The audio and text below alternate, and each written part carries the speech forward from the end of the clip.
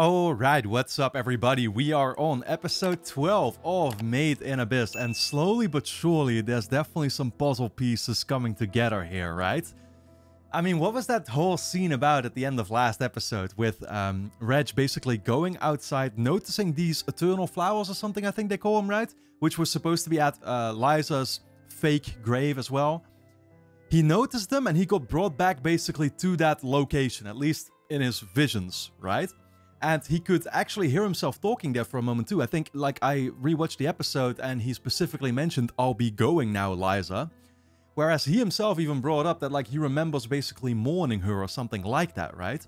So more and more, when you think about it like that, what it seems to allude to is that it was Reg who basically set out on this quest to go up, probably the Abyss, right? Where he was eventually also found. He might have actually yeah, I mean, that's a weird part. Did he bury Liza there, but was Liza maybe removed from her grave? That's, I guess, something to consider. Does he think that he buried Liza there? At least when he could still think, you know, because he doesn't have any memories anymore now whatsoever, of course. But, like, did he think that he buried her there or, or, or what exactly happened? But it seems like he basically marked that spot, perhaps. And it was him who might have left the letter there. Of course, the letter was in a different handwriting, it could have been his own doing. It could have been something he himself actually ended up writing, right? Drawing himself on it as well.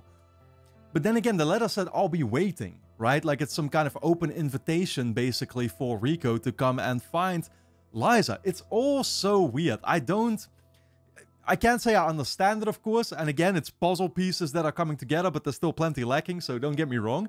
Um, still, it's very interesting to basically come to the conclusion that, like, Reg is definitely involved here in some kind of way. And the question simply remains what? Yeah, uh, apart from that, not a whole lot of progress necessarily made in last episode. Of course, it was mainly about helping Rico recover, which she is now finally... Um, yeah, I mean, she's going to come to now, right? And uh, of course, yeah, Nanachi talked a little bit about what happened to her, as well as to Mitty, her friend, who unfortunately has lost all basically human form. Whereas, uh, uh, uh, yeah, like Nanachi herself is doing surprisingly okay still, right? Even though, yeah, I, I, guess the whole bunny appearance that she has now was actually caused by the curse too. But that's, yeah, this was all caused by the curse on the sixth layer, apparently, right? So you really want to make sure to avoid ever having to ascend there because you're going to be either losing your humanity or life itself. And so, you know, it just goes to show you how woefully unprepared Rico and Reg really were um, also, when it came to basically Nanachi putting Reg in his place, saying like, why didn't you just cut off like the, uh, you know, the arm at the at the elbow or whatever, right? Because you could have easily done so there. It's two separate bones, obviously. All these small little touches. Yeah, it's fantastic, I will say. But, I mean, again, like, that's basically the entire point that last episode tried to make is, like, these two really weren't ready for anything coming their way. And, um, we knew that technically, but at the same time, yeah, they didn't care anyway, right? And so, uh, as the audience, I was simply, you know, forced to watch, I guess. But yeah, guys, we're going to see where the rest of this uh, story is going to be going. So we're going to be diving into episode 12. And of course, if you enjoy my reactions to Made in Abyss, then guess what? You can also get early access to the next 12 episodes already straight away over on my Patreon page, which is going to be linked on top of the description. Over there, we should be very close to probably finishing the show at this point because I'm going to be checking out the movie, of course, in between. Apparently, that's all kind of, um, you know, canon and uh, supposed to basically be in between the storyline. So, like, you can't actually continue with season two without having seen the movie. Uh, it's basically a, uh, a required watch, I guess is what I mean to say. So, yeah, I'll be checking out that. Um, uh, and then, yeah, probably by now we're going to be a couple episodes away from actually finishing the second season right there. So go and check all that out. Full-length reactions, of course, if you want to see me react to the episodes in their entirety. But with that being said, let's dive into this new episode of Made in Abyss. Oh. The kid is doing poorly?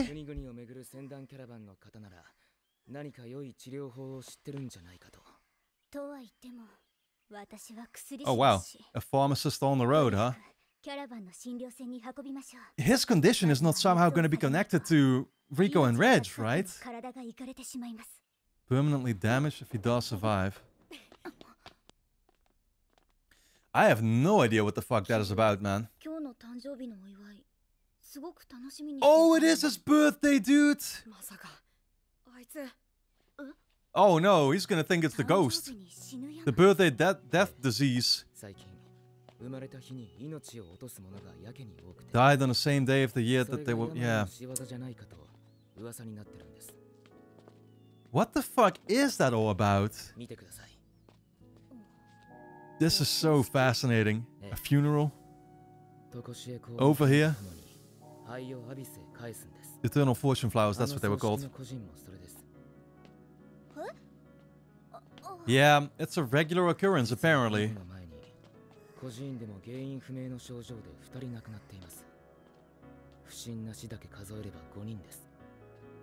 Damn, man. Orphans whose birthdays were unknown. Oh, as in you can't confirm whether it was the birthday disease because you don't know when they were actually born, huh? Oh, Kiwi's doing fine now, huh? Thank God. Oh. Still, thank God.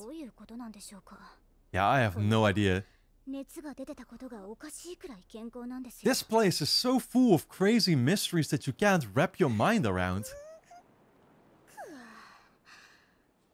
I love the design of the ship, by the way. It's like a fish. Some kind of curse or spell. Yeah, no, probably, uh, definitely is not gonna have anything to do with the abyss. Absolutely not. Something completely absurd. Yeah, no. Obviously, it's tied to that. Longing. Oh yeah, Rico's longing to go down, find a mom.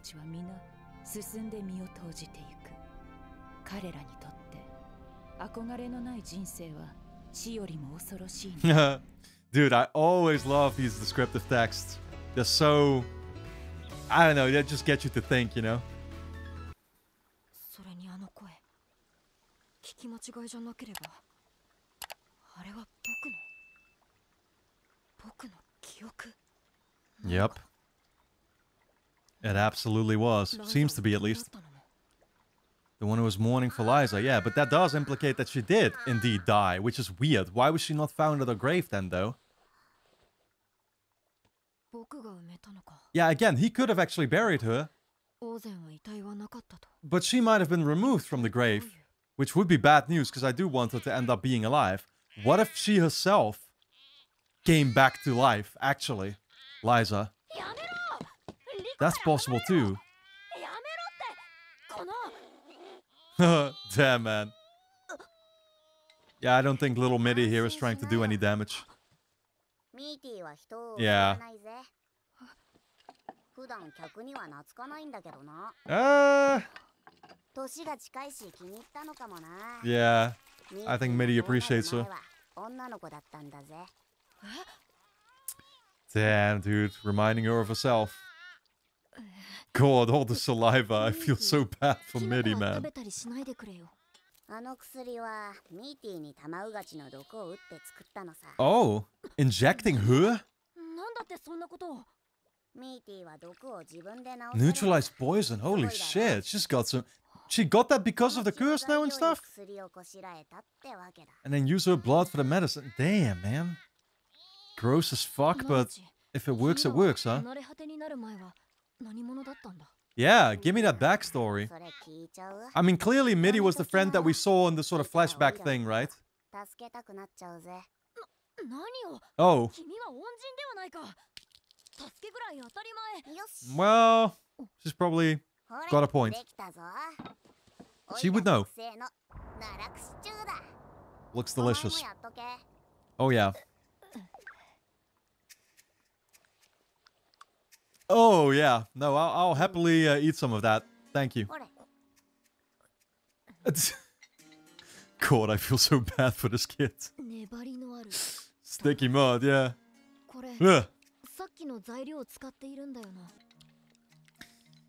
Yeah, I wonder if I would be able to eat something like this. Something that, you know, might taste nice. Well, let's find out. Probably tastes like shit, too. Yeah, okay. I was gonna say, though this George. なんだこれは 本当にあの材料からできたものなのか I mean, even even if it like tasted nice, I wonder if I would be able to eat it if it looks like that. これをままあ Kinda doubt it. なんだよそんな目で見るなよおいらほら美味しい料理とか食べたことないし She's she's gonna go straight back to death. Yeah.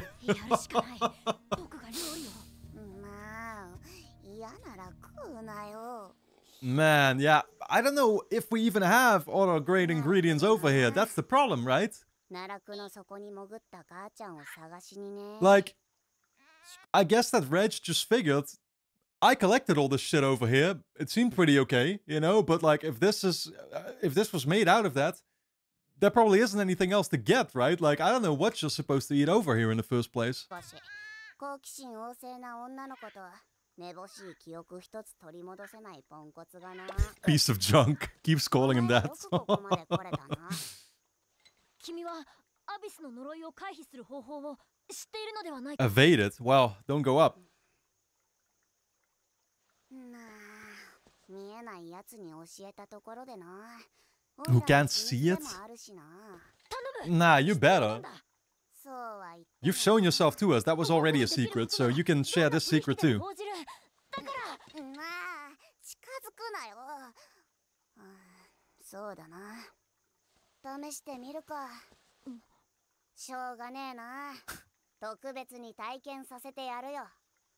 let you experience it, whatever the fuck that is supposed to mean. Okay, some kind of invisible blanket. Is this an invisibility cloak? Harry Potter style? What are we doing?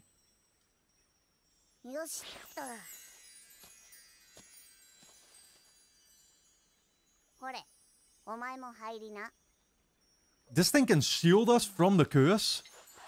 That's how that works? Like, we literally cannot get affected by it? It's kind of hard to walk like this, though. Fork Weave, a grade 3 relic. That is amazing. I mean, you can still walk with this. You can't flee from monsters, though. They can still see you, right? The true nature of the Curse of the Abyss? What is that supposed to mean? It's floaty in the same kind of way, with layer piled upon layer of blankets us, yeah.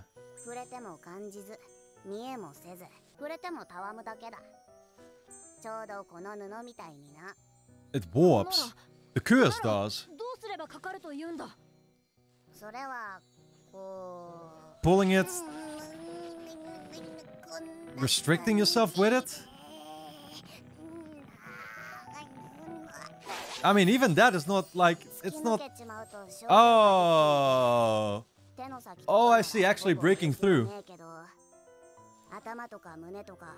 頭とか胸とか命に近そうなとこが通ると That is fascinating to think about. たようにろくでもないことになるわけだ So basically, she's kind of saying that, like, Reg using his arms to go up, I think it was like 80 or 800 meters he mentioned, they basically just like shredded through the cloth that is the curse, if that makes sense, right? And that's what got Rico to be hit by it so so much. I mean, this still doesn't really tell us if there's any way to like avoid it though. 降りるときはどうなってるんだまあ上から通り抜ける分にはする Yeah, no, you you base I mean it's just gonna continue following you, right? 坂トゲのような流れがあるんだだが七地のアジト周辺は呪いがないではないかま Huh. あ Huh. Oh, well, I guess that's true then. Farther away you get from the vertical shaft. Yeah, we definitely moved quite a bit. Yeah, yeah, yeah. Like some kind of outskirts, basically, place or whatever, right? Yeah.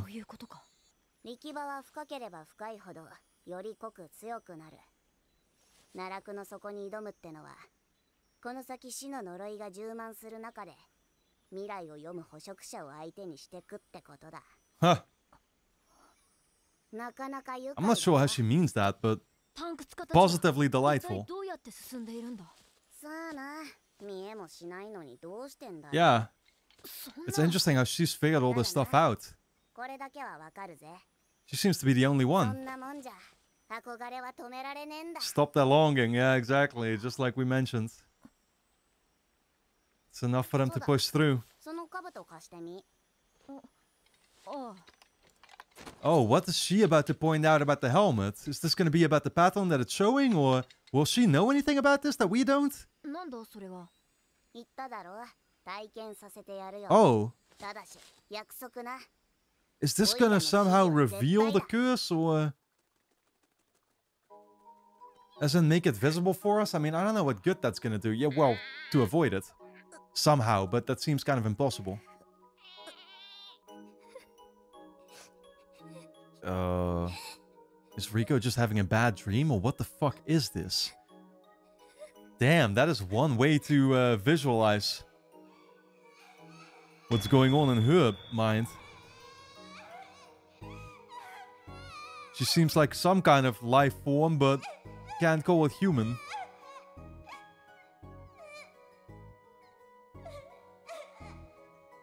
Huh?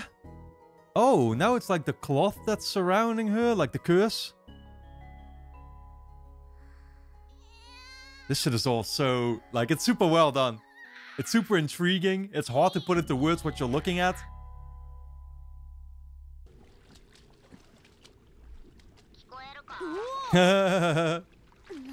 we got a walkie-talkie. Oh, that's what she installed. Interesting. So is that some kind of relics you found as well? Or is this known for them to possess? Whistling. Yeah, no. My man is not listening.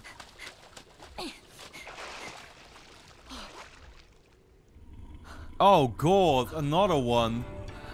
Is this human actually real though this time? Who is this? Oh! He was actually blowing on the whistle.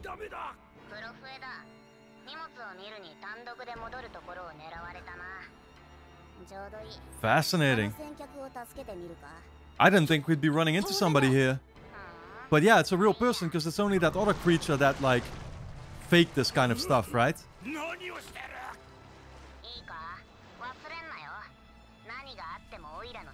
Okay, so what are the instructions to take this thing down? Dispose of Orby. Look up and completely commit to it. As in, don't face the beast? Don't face the Orb Piercer? Oh, he might respond to like looking straight at him. And want to attack you as a result. Yeah, you gotta look away. Oh shit, man. That's a complicated or difficult thing to ask of somebody to do. Jump to the right. Oh shit, blindly. She didn't say grab on though.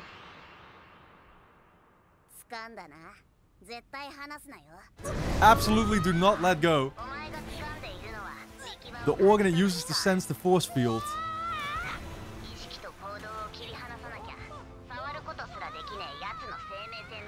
Holy shit! We gotta tame it now like a like a bull. Uh, go for the kill. Yeah, that's not what we want though. Tie it up. I mean, can Reg actually not be affected by the poison? I guess so, right? Because it did just pierce him, I think.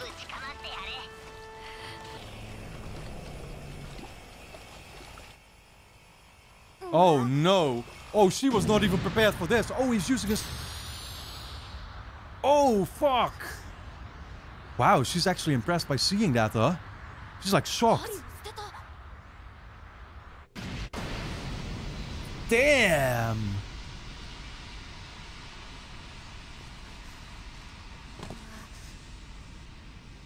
Look at the expression on her face.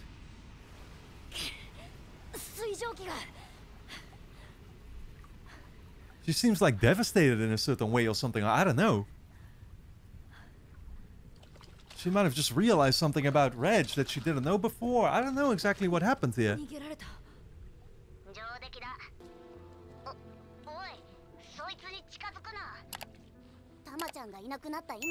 Oh, yeah, she does not want to reveal herself to him, obviously. But Reg is not just gonna walk away from him. Relay a message to the top. Oh, to Alita. We're still continuing our adventure, letting him know that we're alive. A signal. Yeah, that's nice. That's nice. I mean, that's going to be especially nice for the other kids to know about. Because they're gonna, you know, they're like, I mean, they haven't really shown it, but they must be worried out of their mind too, right?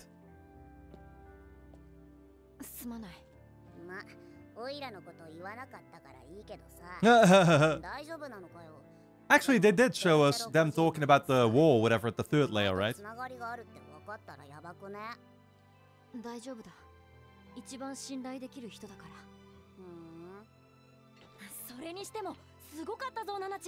敵の能力を逆手に取った素晴らしい作戦だ。君も奈落の底についてきてくれればいい、ん、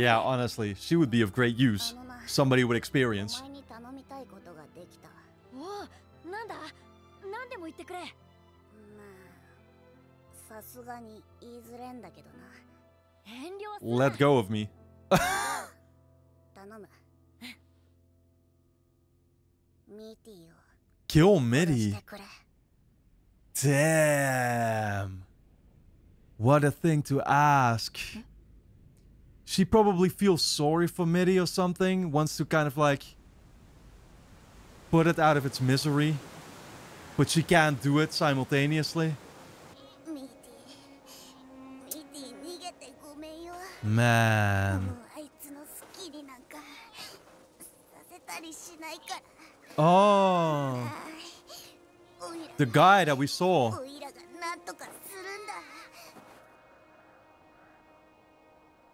Oh, this is so fucked up, man. Oh, don't end things here. Come on, dude. Man, yeah, we've got one episode left this season. That's going to be one hell of a, of a finale, no doubt. A devastating one. All right, guys. Anyway, don't forget to subscribe to the channel, hit the notification bell, and of course, you can get early access to the next 12 episodes straight away over on my Patreon page, which is going to be linked on top of the description. Go and check it out. You can also sign up as a free member and watch the next two episodes already right now. So, I'll see you there.